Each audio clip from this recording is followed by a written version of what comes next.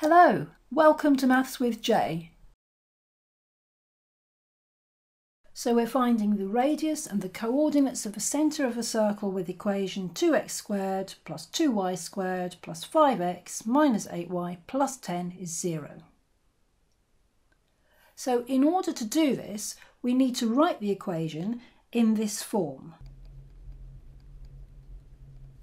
So once we've done this, we'll be able to see that the centre of the circle has got coordinates a, b, and that the radius is r. So we can see that we don't want to have any numbers multiplying the x squared and y squared. So the first thing to do is to divide through by 2. So that will give us x squared plus y squared plus, and here we will need to halve the 5, so we'll leave that as 5 over 2, so 5 over 2x, and then 4y minus 4y plus 5 is 0.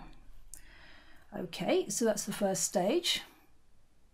Then looking at what we want to do, well, we're going to need to complete the square because we don't want to have any terms in x or y. We only want to have the x plus or minus something squared and similarly, similarly for the y. So what we're going to do is write down x squared and put next to it the 5 over 2x because those have got to be combined. And then we'll write down the terms in y, so y squared minus 4y.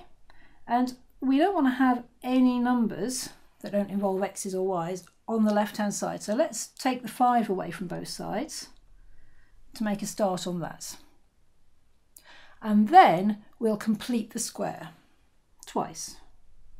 So that means we're going to have something or other squared for the x term. So let's start, rather for the x terms. So we start off with the, the x there.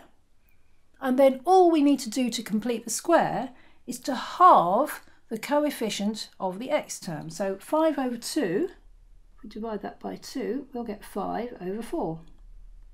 But because we've done that, that's going to add in 5 over 4 all squared. So we need to take that away. So minus 5 over 4 all squared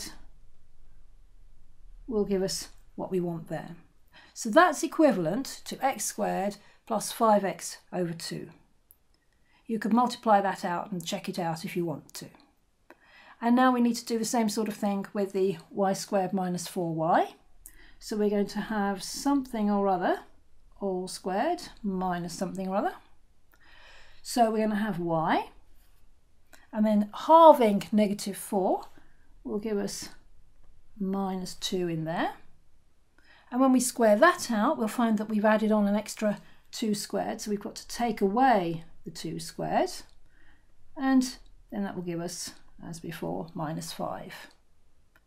So we're nearly there. Let's just write down the brackets on the left hand side. So x plus 5 over 4 squared plus y minus 2 squared. So we're looking really good there. The left hand side is just what we want. So we could actually write down the coordinates of the centre already. We just need to do a bit of work on the right hand side to work out what the radius is going to be. So we'll start off with our negative 5. Let's add on the um, 2 squared, which is 4. So that's plus 4. And then we're going to add on 5 over 4 all squared. So squaring the 5 gives us 25. Squaring 4, 16. And if we work out what that is, negative 5 plus 4 is negative 1, which is minus 16 sixteenths. So take 16 away from 25 and that gives us 9 over 16. And luckily both of those are square numbers, so we've got 3 quarters all squared. So now it's uh, just a matter of writing down what the centre is. Be careful that you get the right signs here. Notice that in the formula for the equation of a circle, we've got x minus a all squared, which means that when we write down the x coordinate, we want to write down minus 5 over 4. And when we write down the y coordinates, instead of minus 2, it's plus 2. So the opposite signs to the ones that you've got in the working there. And then our radius is simply going to be square root of r squared, which is just 3 quarters. So centre is minus 5 over 4, 2, and the radius 3 quarters.